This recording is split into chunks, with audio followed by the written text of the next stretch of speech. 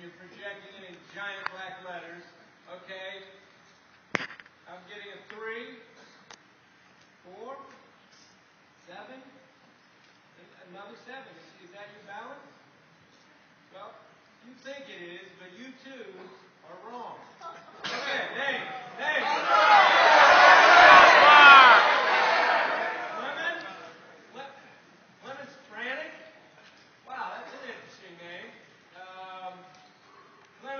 Do not have $6,500 in your account. In fact, everybody stand up. Everybody.